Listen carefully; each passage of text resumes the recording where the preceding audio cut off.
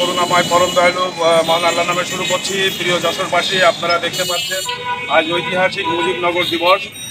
এই দিবসে আমরা যশোর আহ, গরিবসা রোডে আমরা জাতির পিতা বঙ্গবন্ধুর মোরালের সামনে আমরা যশোর জেলা আওয়ামী লীগের পক্ষ থেকে জাতির পিতা বঙ্গবন্ধু জাতীয় চার নেতার প্রতি শ্রদ্ধা জানিয়ে আমরা এখানে ফুল দিয়েছি।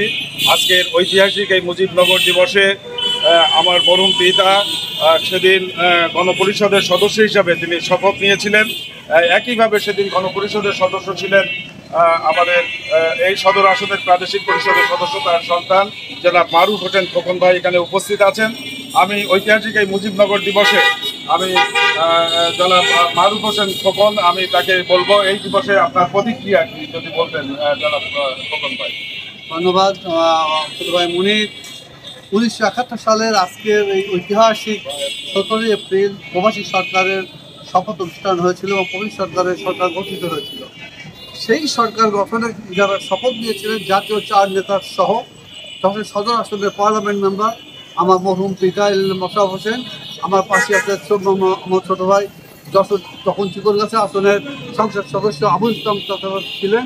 আজকে আমার কাছে এইটুকু মনে হচ্ছে যে এত বছর পরে আজকে আমাদের বাবারে নাই, কিন্তু সেই শ্রদ্ধার সাথে দিনটিকে আজকে আমরা স্মরণ করছি এবং শ্রদ্ধার সাথে স্মরণ করছি জাতীয় চার নেতা সহ বঙ্গবন্ধু শেখ মুজিবুর রহমানকে এবং অত্যন্ত শ্রদ্ধার সাথে স্মরণ করছি, ত্রিশ লক্ষ শহীদের রক্তের বিনিময়ে অর্জিত এই বাংলাদেশ বাংলাদেশ স্বাধীন স্বাধীন বাংলাদেশকে।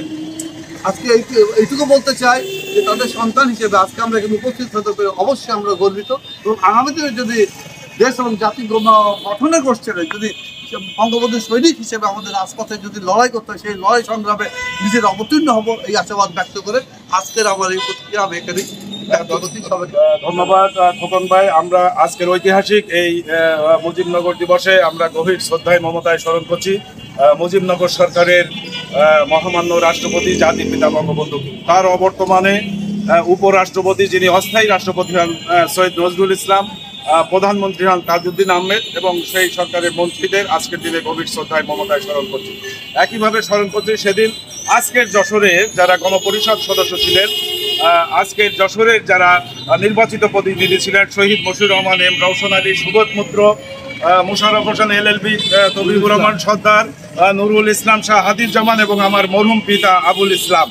আজও এই মাটিতে বেঁচে আছেন এই গ্রেটার যশোরের অ্যাডভোকেট মঈনুদ্দিন মিয়াজি, তাদেরকেও আমরা গভীর শ্রদ্ধায় মমতায় স্মরণ করছি। একইভাবে এই উনিশশো সত্তর সালে নির্বাচিত জাতীয় পরিষদ, প্রাদেশিক পরিষদের সংখ্যাগরিষ্ঠ দলের নেতা বঙ্গবন্ধুর আহ্বানে যারা জীবন দিয়েছিলেন, রক্ত দিয়েছিলেন, তেইশ, তিরিশ লাখ শহীদ এবং দু লক্ষ মা বোনের সম্ভ্রমকে আমরা আজকের এই ঐতিহাসিক মুজিবনগর দিবসে সেই সরকারের শপথ গ্রহণকারী দুজন গণপরিষদ সদস্যের সন্তান হিসাবে আমরা গভীর শ্রদ্ধায়, মমতায় আমরা স্মরণ করছি।